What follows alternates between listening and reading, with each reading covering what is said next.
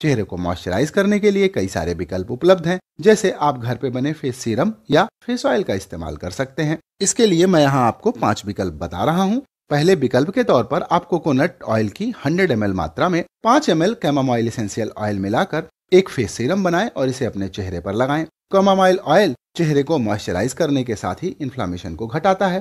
आपके लिए दूसरा उपाय है सेफ़ स्वीट आमंड ऑयल लगाना। 100 एम में पाँच एम क्लोब रोज या लेवेंडर इसेंशियल ऑयल में से कोई एक इसेंशियल ऑयल मिलाकर इसे आप चेहरे पर लगाइए। इन ऑयल्स को एंटी क्रैम्प कहा जाता है, क्योंकि ये रूखी त्वचा को फटने से रोकते हैं और ये फेस सीरम गर्मियों के लिए बेस्ट है। तीसरा फेस सीरम जो आप घर पर बना सकते हैं वो है एप्रिकॉट कैरेनल ऑयल से 100 एम की मात्रा में 5 M tea tree essential oil मिलाकर आपको इसे अपने चेहरे पर अप्लाई करना चाहिए। और जिन्हें एक्ने की समस्या है, उनके लिए इस फेस सीरम का इस्तेमाल हर मौसम उपयोग के लिए सर्वोत्तम है।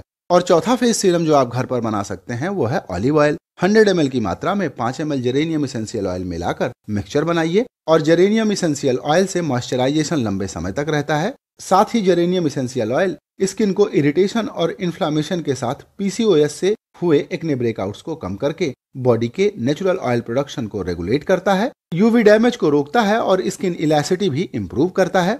सर्दियों के लिए यह एक बेस्ट फेस सीरम है। इसके अलावा अंतिम और पाँचवें विकल्प के तौर पर आप जोजोबा ऑयल का इस्तेमाल कर सकते हैं। बरसात की उमस में आपको जोजोबा ऑयल की 100 एम मात्रा में 5 M L lavender essential oil मिलाना है। लेवेंडर इसेंशियल ऑयल स्किन को रूखा होने से बचाता है। साथ ही नई स्किन सेल्स के निर्माण में भी सहायक है। इसके उपयोग से त्वचा स्मूथ और सॉफ्ट फील होती है। और ऐसे लोग जिनकी स्किन ड्राई और सेंसिटिव है अथवा आप प्रेगनेंसी या ब्रेस्ट फीडिंग के समय पर हैं ऐसे महिलाओं को अपने चेहरे पर स्नान के बाद इसेंशियल ऑयल से बने फेस सीरम नहीं लगाना चाहिए। आपको सिर्फ़ फेस ऑयल ही लगाना चाहिए। अब जानते हैं कि कौन से इसेंशियल ऑयल आपको इस्तेमाल करना चाहिए।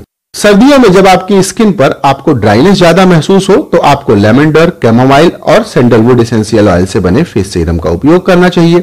गर्मियों या बरसात के मौसम में जब स्किन थोड़ी ऑयली लगे तो क्लैरिसेज रोजमेरी और फ्रेंकिनसेंस इसेंशियल ऑयल में से कोई भी एक इसेंशियल ऑयल से बना सीरम अपने चेहरे पर इस्तेमाल कीजिए।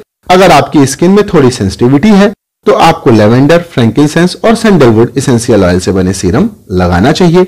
वहीं अगर त्वचा पर मुहासे हैं तो lemon grass cinnamon tea tree essential oil से बने फेस सीरम बेस्ट होंगे।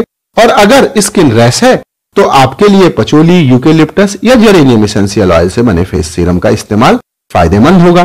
पिगमेंटेशन से परेशान लोगों के लिए पोमोग्रेनेट टेंजरिन और इलांग इलांग इसेंशियल ऑयल से बने फेस सीरम फ़ायदा करेंगे और चेहरे की झुर्रियाँ अगर आपको कम करनी है तो आपको फ्रेंकिनसेंस इसेंशियल ऑयल इस्तेमाल करना चाहिए। इवेंटोन और फ्री रेडिकल से लड़ने के लिए जेरेनियम और अगर चेहरे पर रेडनेस हो तो लेवेंडर इसेंशियल ऑयल का उपयोग करना चाहिए।